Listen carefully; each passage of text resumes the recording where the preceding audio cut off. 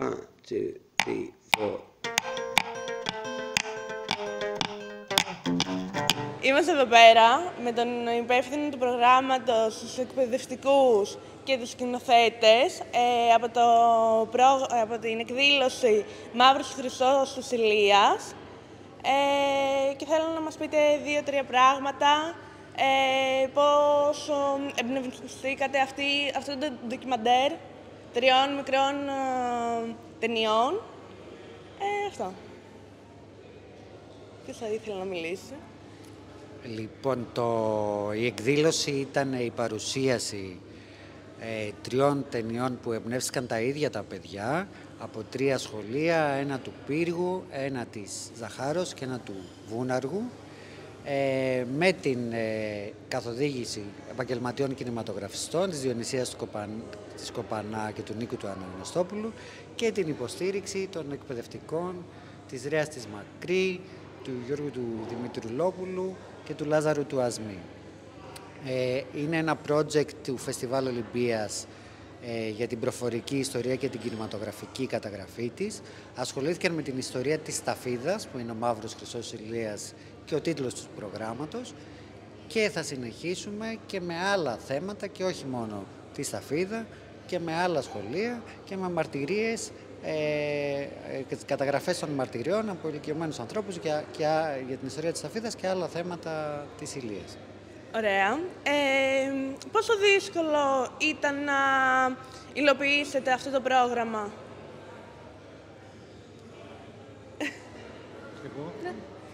Ε, όλα είναι δύσκολα και εύκολα. Όταν κάνεις κάτι με αγάπη, το κάνεις ε, είτε είναι δύσκολο είτε είναι εύκολο. Εγώ θα έλεγα ότι ήταν εύκολο γιατί υπήρχε μεγάλο ενδιαφέρον από τα παιδιά, υπήρχε μεγάλη βοήθεια από τους εκπαιδευτικούς στο Βούναργο και βέβαια και, και από μένα υπήρχε έτσι ε, η διάθεση να κάνω ό,τι μπορούσα καλύτερο και ε, προσπαθήσαμε μέσα από την ταινία να δείξουμε τη σχέση που είχαν οι άνθρωποι στο βίο τους με τη σταφίδα.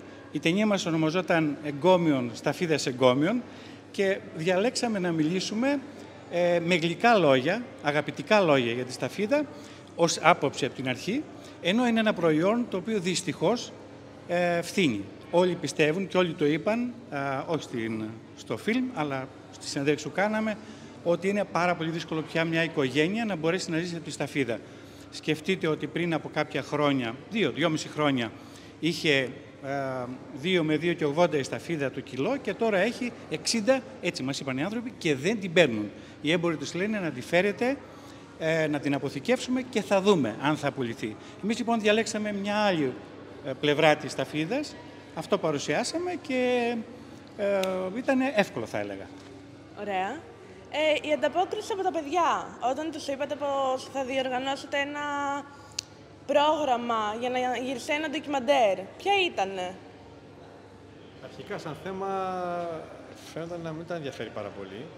Ε, αλλά μετά στην, ε, στην πορεία, ε, στην πορεία όμως ε, έδειξα μεγάλο ενδιαφέρον.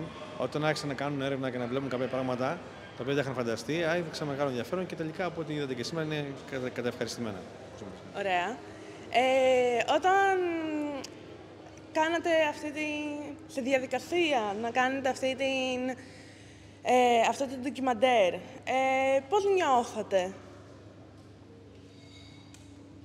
Ε, εγώ συγκλονισμένη γιατί έβλεπα με τη δραματοποίηση να, να παίρνει ζωή, να αποκτά οντότητα μια ιστορία που άκουγα από τη γιαγιά μου και αναφέρομαι στην ταινία που κάναμε τη Διονυσία την Κοπανά στο Γυμνάσιο Ζαχάρος για την, ε, με τίτλο «Για μια χούφτα σταφίδες» που αναφέρεται σε ένα γεγονός στο σπάσιμο των αποθηκών της σταφίδας το Μάιο του 1943 ε, στην οποία έχουν καταγραφεί τέσσερις ε, θάνατοι, όπου οι άνθρωποι πεινούσαν και έσπασαν τις αποθήκες για να πάρουν τη σταφίδα. Ήταν κάτι που με συγκλώνιζε ως παιδί και έβλεπα τώρα τους μαθητές μου να συμμετέχουν σε αυτό, όλη την τοπική κοινωνία να ασχολείται με το θέμα της σταφίδας και να ξαφνικά να αποκτά ζωή και αξία μια ιστορία που θεωρούσα πάντα ότι πρέπει να ακουστεί. Αυτό. Ε, και κάτι τελευταίο. Ε, οι ανθρώποι που μιλάνε στο ντοκιμαντέρ, μ, οι κάτοικοι των περιοχών, σας έχουν πει πώς νιώθουν ε, που συμμετέχουν σε αυτό και για την ίδρυση, όχι για την ίδρυση, για αυτό που γίνεται και θα, θα ακουστεί για τη Σαφίδα. Για τους ανθρώπους οι οποίοι συμμετείχαν και έδωσαν συνεντεύξεις, μια πρωτόγνωρη εμπειρία, πρώτη φορά ε, ήταν μπροστά σε κάμερα, ε, οπότε στην αρχή αισθάνονταν λίγο έτσι, συναισθαλμένοι, υπήρχε, έτσι, ήταν λίγο τρακαρισμένοι. Σιγά σιγά όμως μπήκαν ε, στην ε, διαδικασία αυτή και μας έβγαλαν την ψυχή τους. Ε, δεν θα ξεχάσω τον κύριο Στασινόπουλο, ο οποίος δύο φορές έβαλε τα κλάματα καθώς ε, έδινε συνέντευξη ε, ή τον άλλο παππού, τον κύριο Σωτηρόπουλο, ο οποίος επίσης ε, κλείνει τη συνέντευξή του λέγοντας ότι ήταν η πρώτη του αγάπη. Ωραία. Ε, μία δήλωση που θέλει να κάνει κάποιος για το ντοκιμαντέρ, κάτι που θέλετε να ακουστεί; Δεν θα κάνω δήλωση, θα πω όμως ένα παραλυπόμενο. Για, εγώ γύρισα την ταινία με τα παιδιά της Ρέας, της Ζαχάρο, για, το, για μια χούφτα σταφίδες, όπου το τελευταίο μας γύρισμα, μάλλον το πρώτο μας γύρισμα το νυχτερινό, που κάνουμε τη δραματοποίηση της σκηνής, τη στιγμή που οι κάτοικοι από τα γύρω χωριά έρχονται και εισβάλλουν στο, στην αποθήκη για να πάρουν τη σταφίδα ώστε να μπορέσουν να θρέψουν τα παιδιά τους. Κάνουμε λοιπόν όλη αυτή την δραματοποιημένη σκηνή, φωτίζοντάς τις με τα, με τα φώτα των αυτοκινήτων δεξιά και αριστερά. Έχουμε τους ηθοποιούς παιδιά που έχουν κάνει special effect με αίματα στα μάτια, στα πόδια και στα λοιπά, και τα λοιπά όπου έρχονται δύο αυτοκίνητα, σταματάνε δίπλα, τρέχουν και λένε τι έγινε παιδιά, δυστύχημα. Αλλά ήταν το γύρισμα το νυχτερινό που το ευχαριστηθήκαμε όλοι και πέρασαμε πάρα πολύ καλά. Και μετά κάναμε πάρτι, πήγαμε και φάγαμε σουβλάκια και πιάμε κοκακόλες. Έπρεπε να, πούμε, να πιούμε, έπρεπε να πιούμε χυμό σταφίδας. Εγώ θέλω να πω ότι οι μαθητές ψάχνουν για το επόμενο θέμα. Έχουν ήδη αρχίσει και καταγράφουν, δηλαδή πια έγινε κατανοητό ότι όταν θέλουμε μια προφορική μαρτυρία, φέρνουμε μια προφορική μαρτυρία. Σήμερα στο σχολείο μας με αφορμή πάλι το φεστιβάλ. Ήρθε η κυρία Στρουμπούλη, ζήτησαν από το φεστιβάλ ιστορίες για το νερό και ξαφνικά ήρθαν πολλές ιστορίες. Έχω περίπου 50 ιστορίες να πληκτρολογήσω για το νερό. Γεφύρια, ποτάμια, βρύσες, πλημμύρες, θάνατοι και, ε, και νομίζω ότι έχει ανοίξει ένα πολύ μεγάλο ε, κεφάλαιο στην προσέγγιση της τοπικής ιστορίας μέσα από το φεστιβάλ. Θέλουμε να συνεχίσουμε με πολλές ταινίες, πολλά ντοκιμαντέρ και αυτό. Ωραία, σας ευχαριστούμε. Θέλετε να πείτε κάτι; Να αναφερθεί ναι, ναι. και η τρίτη ταινία θέλω που δεν αναφέρθηκε, που έγινε. Ναι, ε... η άλλη σταφίδα που έχει να κάνει για το εινοποιείο που υπήρχε και για τα άλλα προϊόντα της σταφίδας. Ε, σε αυτό εμείς μείναμε έκπληκτοι με το κτίριο, δεν το ξέραμε. Και εγώ δεν το ήξερα προσωπικά και τα παιδιά δεν το ήξεραν και πολλοί κόσμοι από αυτούς που ήταν σήμερα δεν το ήξεραν. Ε, και δείχνει τι σημαίνει η σταφίδα την εποχή εκείνη. Δηλαδή, μιλάμε για ένα κτίριο το οποίο ξεκίνησε αρχές του, του 20ου αιώνα και σήμερα είναι ένα ερείπιο, αλλά και από αυτό το ερείπιο βλέπεις το, το μεγαλείο που είχε πριν.